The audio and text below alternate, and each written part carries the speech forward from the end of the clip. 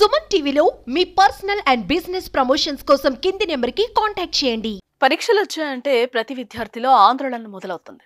సంవత్సరం మొత్తం చదివితే ఆ ఒక్క రోజులో తమ భవిష్యత్తు తేలిపోతుందని అనుకుంటారు. అయితే పరీక్షల్లో పాస్ అవుతామో లేక ఫెయిల్ అవుతామో అనే భయం కూడా మొదలవుతుంది. పరీక్షలు వస్తే పుస్తకాలతో పోటీ పడతారు. ఉదయాన్నే లేచి పుస్తకాలతో కుస్తీ కూడా పడతారు. కొంతమంది పాస్ అయ్యేందుకు వింత వింత సమాధానాలు రాస్తే మరికొంతమంది అయితే సినిమా స్టోరీలు కవిత్వాలు రాస్తూ ఉంటారు.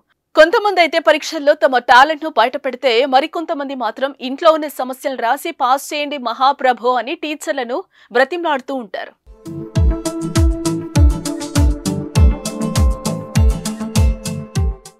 కొంతమంది తల్లిదండ్రులు చదువుల్లో తమ పిల్లలను చాలా ప్రెషర్ చేస్తూ ఉంటారు. దీంతో పరీక్షల్లో ఫెయిల్ అయినా కానీ తక్కువ మార్కులు వచ్చినా కానీ తల్లిదండ్రులు ఏమంటారో అని భయపడుతూ ఉంటారు.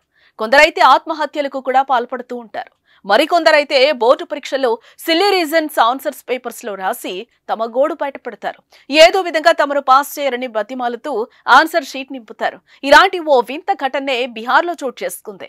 ఇటీవల బీహార్లో జరిగిన మెట్రికులేషన్ పరీక్షల్లో ఇలాంటి ఓ ఆన్సర్ షీట్ చర్చనీయాంశమైంది అదేంటి అంటే ఓ విద్యార్థి ఆన్సర్ షీట్లో నేను పేదింట అమ్మాయిని. దయచేసి నన్ను పాస్ చేయండి సార్. లేదంటే మా అమ్మ నాన్న నాకు పెళ్ళి చేస్తారు సార్. ఈ పెళ్ళి నాకు ఇష్టం లేదు. నేను చదువుకుంటాను సార్. దయచేసి నా పరువు కాపాడండి సార్ అని బ్రతింలాడుకుంటూ సమాధానం రాస్తుంది. ఇలాంటి వింత సమాధానం చూసిన టీచర్ ఆశ్చర్యపడిపోయాడు.